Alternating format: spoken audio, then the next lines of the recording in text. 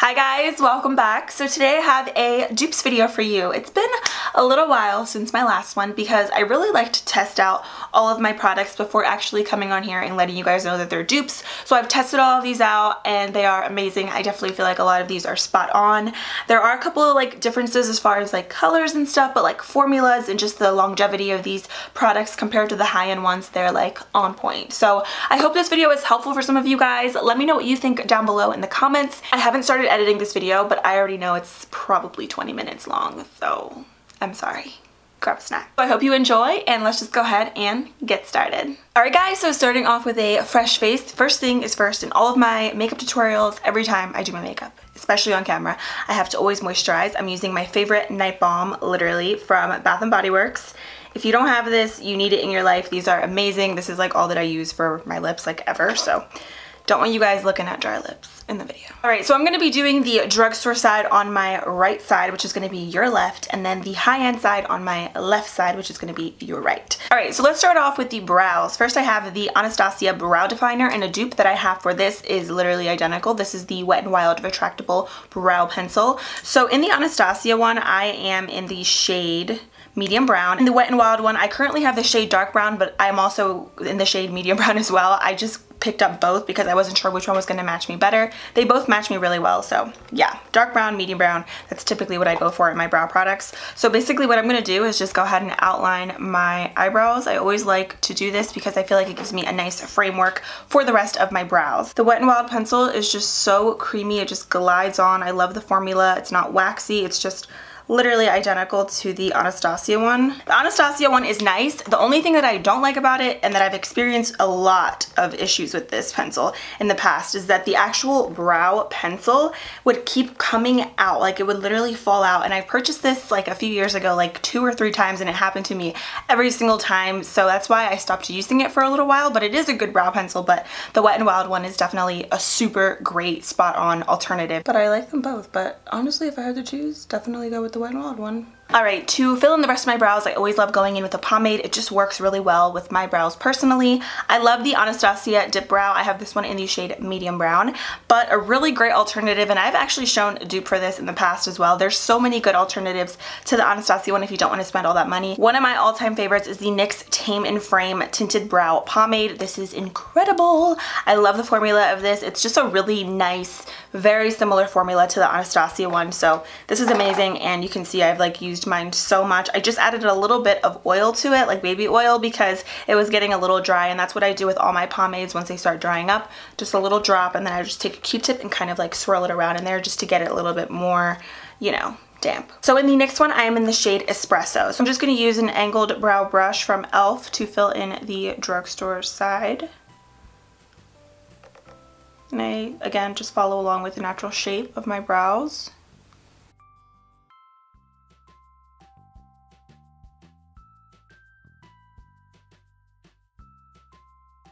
And then for the other side, of course, I'm going to be using another angled brush. This one is from Royal and Langnickel, and I'm just going to fill in the rest of my brows. Okay, so I did carve my brows out a little bit, and I also did prime my lids with my NARS Soft Matte Concealer in the shade Custard. I love this concealer.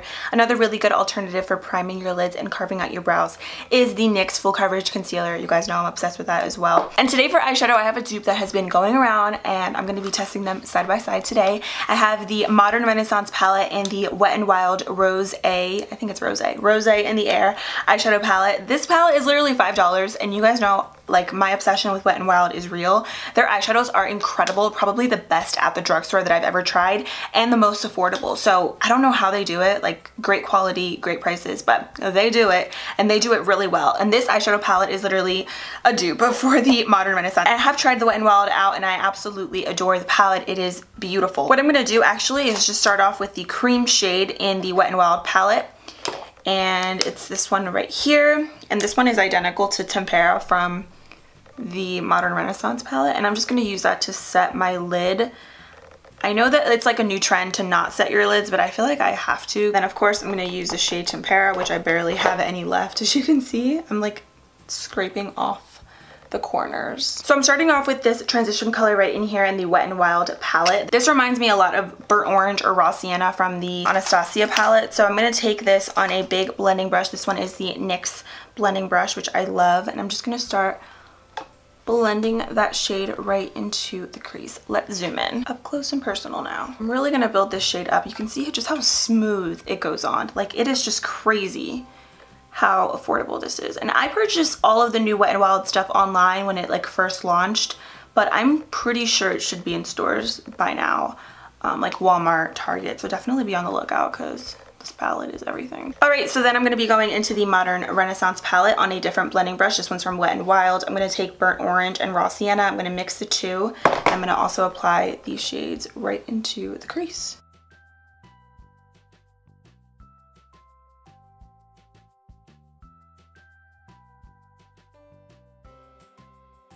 To deepen up the crease a little bit, I'm using a Morphe M441 in the Wet n Wild palette, I'm picking up the orange color, which I love. You guys know I'm obsessed with orange shades. I'm gonna just start applying that right into my crease on the outer part of my crease. Again, I'm building these shades up. I want them pretty intense.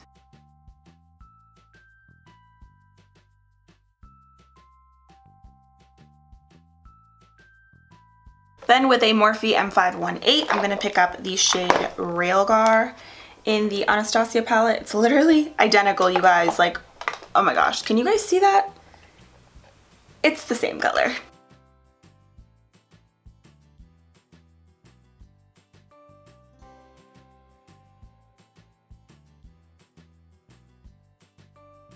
With the same brushes that I was just using, I'm going to take my washcloth. I always keep little washcloths with me when I do my makeup. I'm going to just take my brush and kind of just clean it off in here. And I'm going to use the same brush and I'm going to pick up the like really pretty magenta color in here.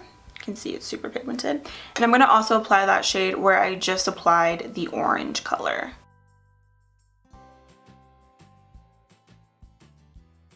And that shade that I just used is literally the identical to the shade Love Letter in the Anastasia palette. It is spot on, same thing.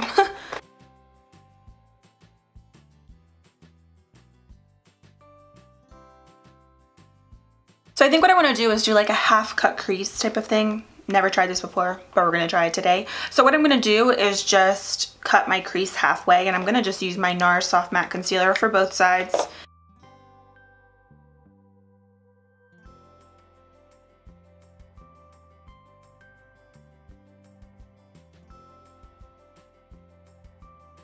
And by the way, I'm just using a flat shader brush from ColourPop to do this.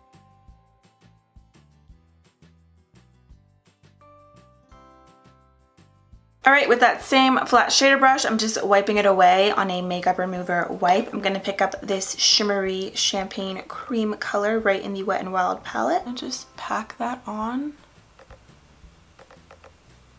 where I applied the concealer. And then for the other side, I'm using an Urban Decay flat shader brush and I'm picking up the shade Primavera.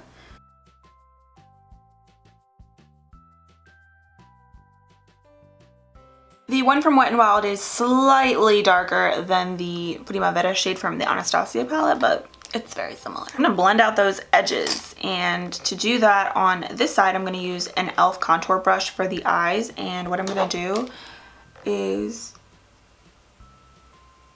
just blend out those edges and I'm gonna actually pick up a little bit more of orange color right in here and I'm gonna mix it with the magenta shade and I'm gonna kind of just add that. You know what? I don't want to use this brush. Let's use a different brush. I'm going to use this blending brush. This one is from BH Cosmetics and I'm just going to take, again, those two same colors. I'm probably going to add the shimmery color again just to really emphasize it. Uh, this didn't really turn out the way that I wanted it to, the way that I envisioned, but that's okay. I feel like I didn't even need to do all that concealer because it just, it didn't turn out like what I had envisioned. Alright, for the other side, I'm using a Morphe E22 brush. Again, I'm going to be using Love Letter and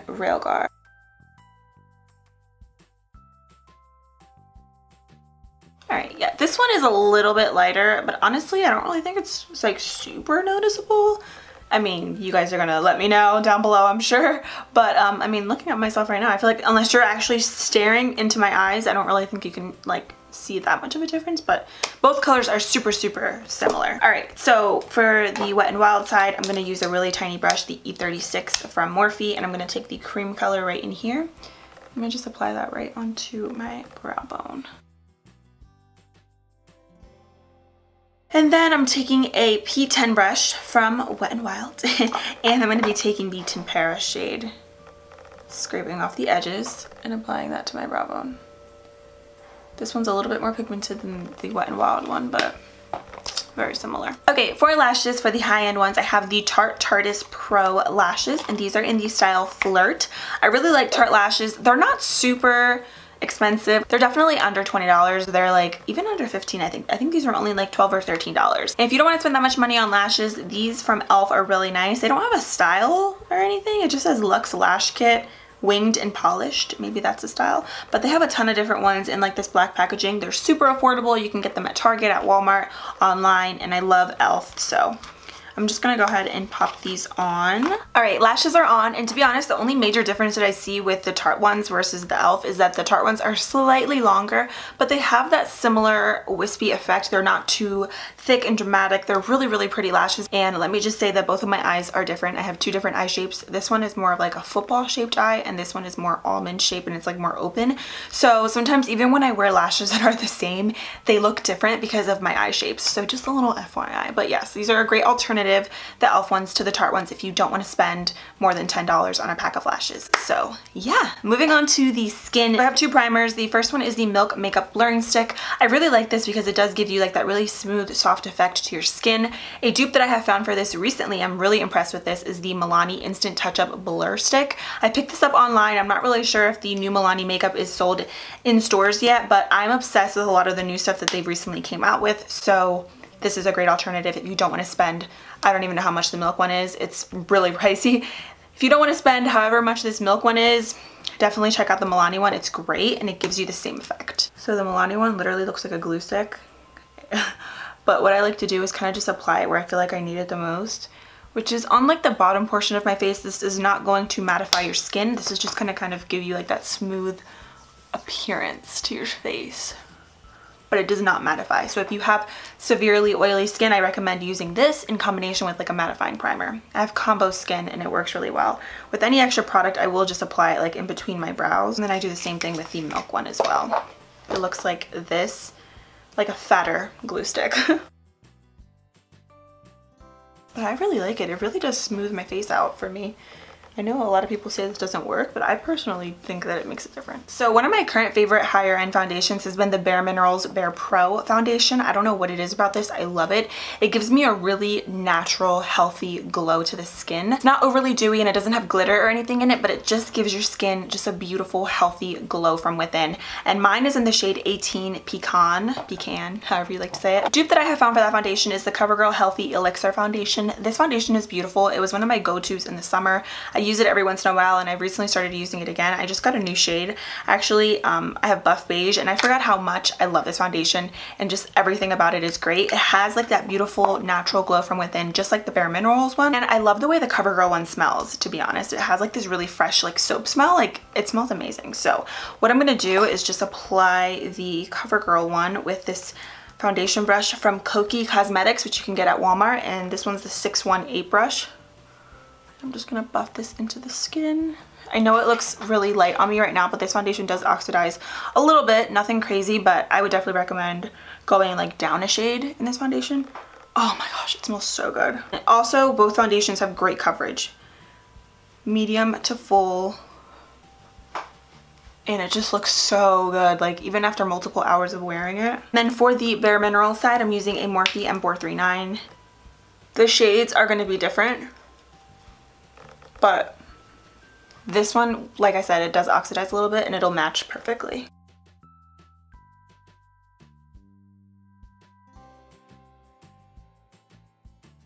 The Bare Minerals one, by the way, does not oxidize. It's like perfect. I love the shade on me. I think it matches really well. And I found mine at Ulta. They both give me that same effect. I don't know if you can really tell. Do you see how like it looks glowy?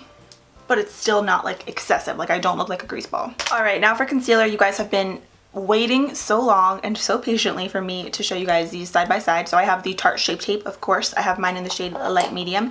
And I have my Ulta Beauty Full Coverage Concealer. This is incredible. So it's so funny because Light Medium and Tarte Shape Tape matches me perfectly. And in the Ulta Beauty Concealer, I like to mix two shades to get my perfect shade because I feel like I need a shade in between both of these. So I have medium warm and light warm. Medium warm for me is perfect when I'm a little bit more tan.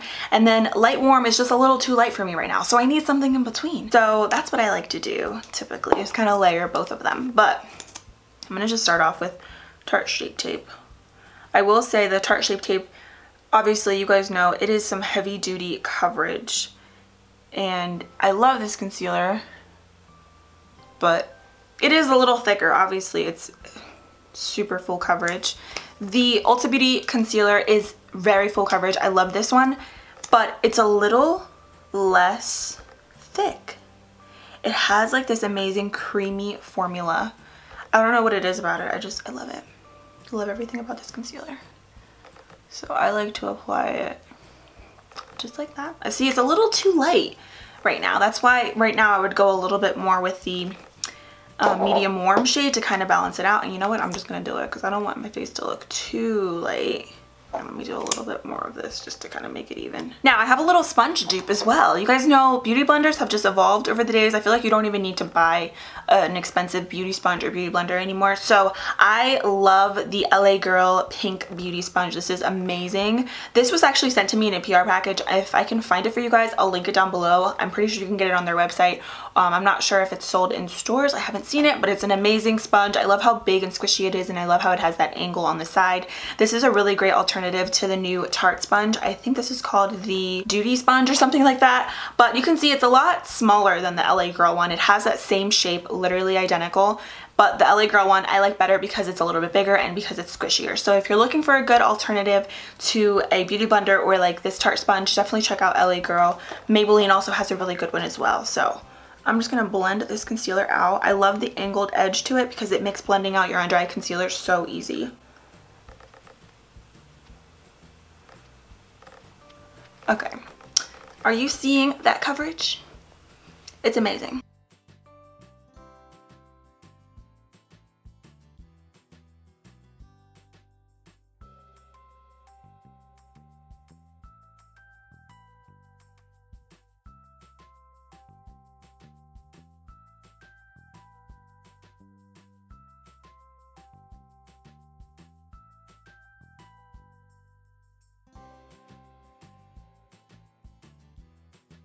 Fact that like the color is like slightly different from both, I personally think that the Ulta Beauty Full Coverage Concealer is the best dupe that I have found for the Tarte Shape Tape. I know everyone's going crazy over the Makeup Revolution one. Personally, I don't think that's an exact dupe.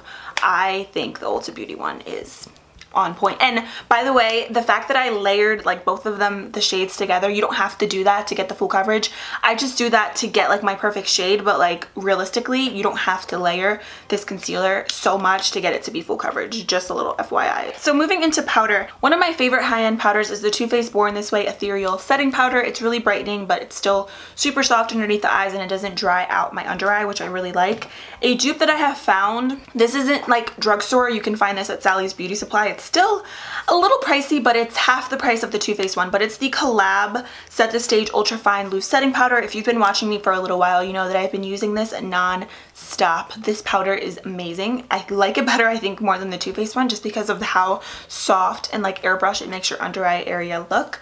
I'm just obsessed with it. So if you can't find the COL-LAB one, if you don't have a Sally's near you, or if you just don't want to spend $15 on another powder, I, I feel you, it's okay. I will tell you, it is worth it though, 100%. But I have two other alternatives for you guys. So the Makeup Revolution Luxury Baking Powder in the shade Lace. I also really like the banana powder as well. This is a good alternative to the Too Faced one. And another really awesome alternative is the Maybelline Fit Me Loose Finishing Powder. I'm actually in the shade 20. I know this one says 15, but 20 is like my perfect shade and this is an awesome smooth beautiful setting powder for underneath your eyes. So those are some other options in case you don't want the COL-LAB one or you can't get your hands on it. My favorite way to set underneath my eyes is with my sponge. It just gives me the most I found at least flawless look. So I know the powder looks really white when you first apply it but once you blend it in it is amazing. And um, this one doesn't give me any crazy flashback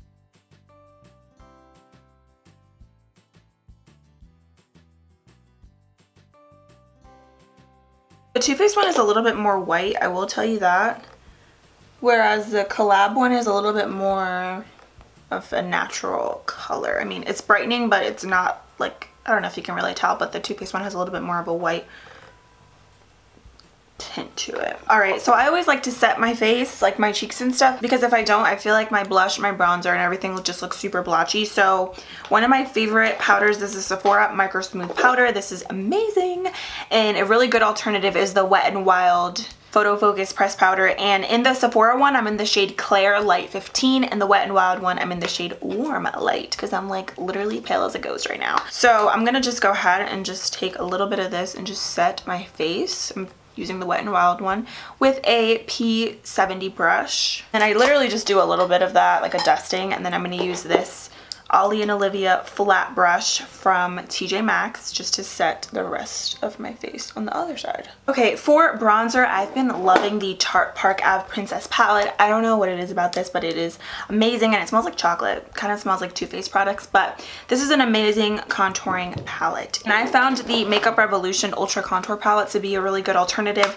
I really like this palette. I think the colors are really nice. I love how they blend and they layer and they're super pigmented. So this is a really nice little palette palette as well and you also get two highlighters so it's kind of like a bonus and um, I really like it. So I'm gonna just start off by bronzing the skin first and on the drugstore side I'm gonna use one of my favorite brushes if I could find it.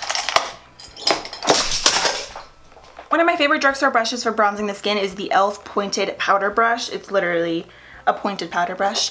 And what I'm gonna do is just pick up the two shades right in here and I'm going to kind of mix the two, tap off the excess, and then just start bronzing the skin. I love these shades. They're so warm on the skin so they add like the perfect amount of color. Then for the other side to bronze I'm using a Morphe R2 brush and I just pretty much dip into like all of them and tap off the excess. Alright, to contour on the drugstore side, I'm going to be using a Morphe R10 brush. Using the same colors, I'm pretty much just going to really concentrate the product right where like my hairline is. I'm going to use an LA Girl 107 brush. It's pretty much honestly the same exact thing except it doesn't have white haired brushes. Do you see that? I'm obsessed with like both of the colors. Alright, then to just clean up this contour, I'm going to use a Wet n Wild P65 brush. And I'm going to just take the banana color right in here.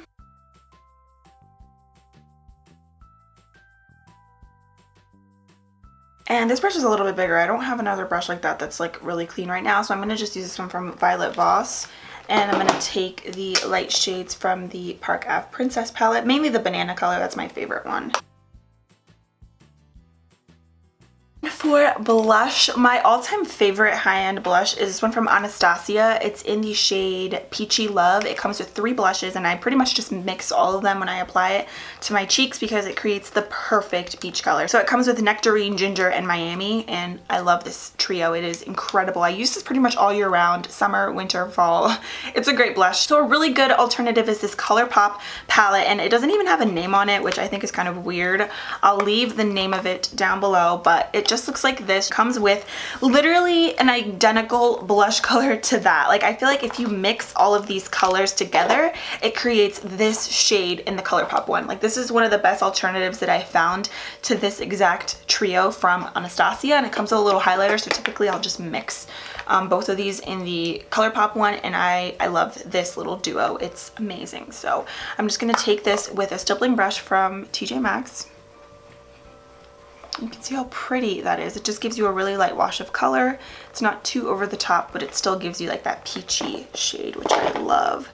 And then for the high-end side, I'm going to use a Wet n Wild stippling brush. And like I mentioned, I literally just take my brush and just swirl it in here. Then for highlighter, one of my all-time favorite palettes is another Anastasia product. I didn't realize how much Anastasia I have in today's video, but the Anastasia Glow Kit in That Glow is one of my go-tos, especially in the summer because obviously it's like bronzy, beautiful, warm shades. So my favorite colors are the three shades. The one really dark bronzer color, I prefer it when I'm tan, not so much now. So I usually will mix the shade Sunburst, Bubbly, and Dripping in Gold. And a really affordable option that I found.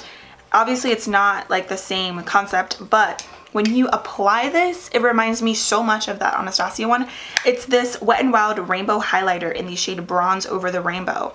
It is literally so similar, like the color scheme. It's beautiful. This is a, such a beautiful, smooth highlighter. Wet n Wild is really known for their amazing highlighters because they're so smooth and they're not glittery.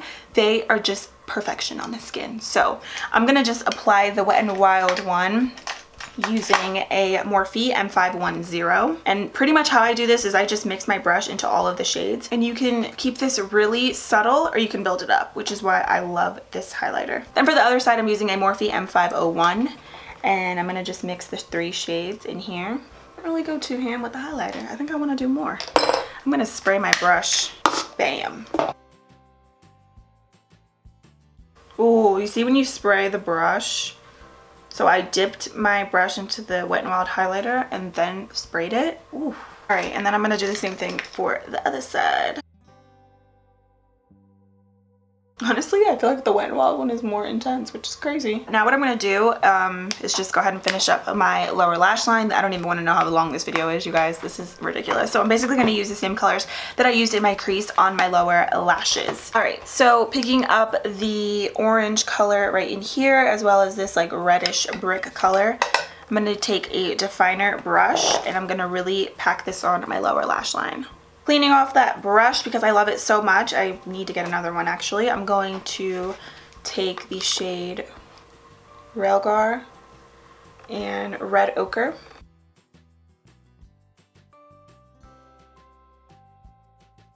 I like to do it pretty low because it covers up those little tiny creases that I get underneath my eyes. I forgot to mention another really good highlighting palette at the drugstore is this Wet n Wild Mega Glow highlighting palette. If you want a really good alternative to the Anastasia um, palettes, which I know they're $40. This is a really great one. I love it so much. And obviously the color scheme is different than the Anastasia one, but again, if you just want a good highlighting palette, this one is awesome and it's only 15 bucks. So I love this one. I'm actually going to use this highlighter right in this palette, the Wet n Wild one, just to highlight my inner tear duct because the Wet n Wild palette doesn't have like a sparkly sort of white creamy color. The one that I used on my lid is a little bit more gold and I want to do a little inner corner highlight so I want to use something different and apply it right in the inner tear duct of my eye. Alright, and then for the other high-end side, I'm going to use the shade Vermeer in the Anastasia palette. Uh, it's actually not as white as I want it to be. I'm going to have to add a little bit of the Wet n Wild one just to make it look more similar. So for the lips, I have a liquid lipstick from Too Faced. This is the Melted Matte Liquid Lip, and I have this one in the shade Cool Girl. These are really, really great liquid lipsticks if you've never tried them. Super lightweight on the lips. They don't dry. They're not cakey. They are just super long wearing and amazing. So this is great, and a really great alternative like color and formula that I found is the Kokie Cosmetics Kissable Liquid Lipstick, and I have this one in the shade Nirvana. Um, the color is slightly different, but the it's very, very similar at the same time. So love these these. You can get this brand at Walmart.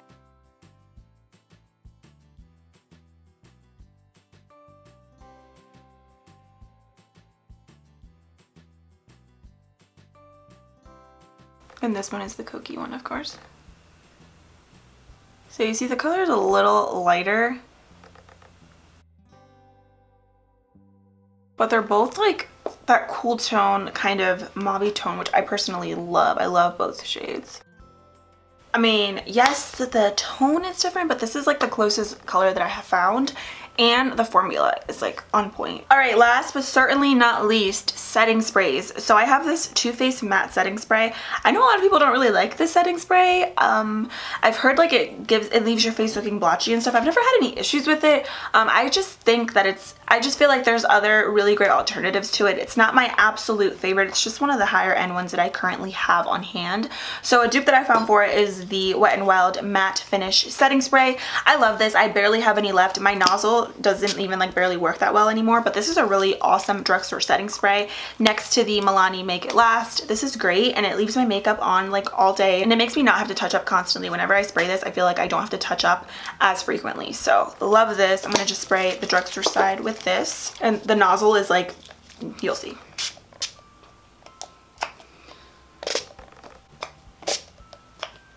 The nozzle is like literally broken. But I still use it because I love it. I barely have any left, by the way, also. So use the Too Faced one. Alright guys, so that completes this video. Let me know what you guys think. I know that there's a couple of things that are a little bit different as far as like the colors of things go, but like formula wise and just like the longevity of these products because I have tried them before, I feel like these are spot on and these are really great alternatives if you don't want to spend all the money on some high-end makeup. So let me know what you guys think. I know you're the ultimate critic, so leave me a comment down below. And also feel free to leave me more dupes that you guys have for some popular high-end makeup. That way we can all help each other out because we all like to save money. Thank you all so much for watching. I really hope you liked it and I'll see you in a few days in my next one. Bye!